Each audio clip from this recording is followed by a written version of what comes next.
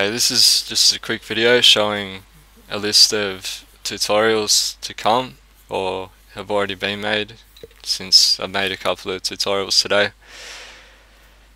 But in the in the future, and this is the plan of different things I'll cover on howtodigitalpaint.com.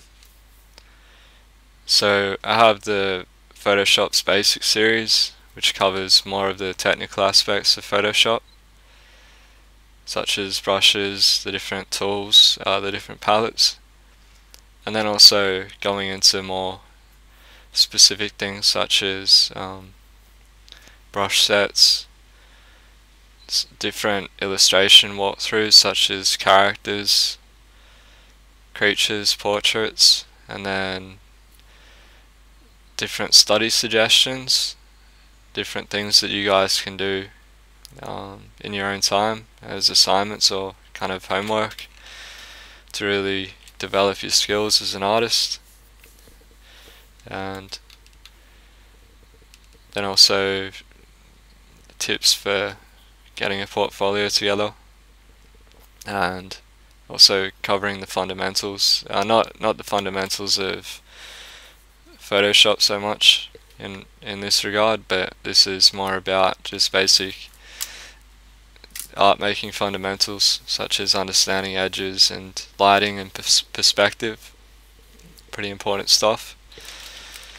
So that those are things to come.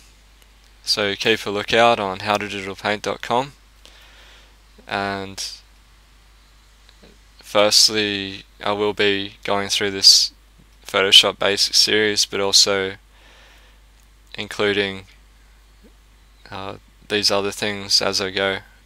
So this this should be finished within a couple of weeks and then you can really focus on the really fun stuff once you've once you've got the foundational technical stuff down. So we can think about making cool characters and uh, things like that. So yeah uh, give me any suggestions for tutorials you have. You can email me at cam at howtodigitalpaint.com or you can just leave comments on the on the website there. So uh, thanks for watching and keep a lookout for the videos to come.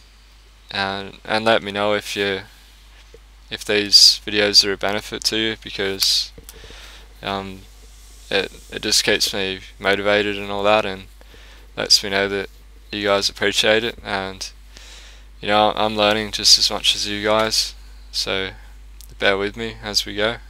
But hopefully, I can teach you a lot of the things that I've discovered over the years of of digital painting.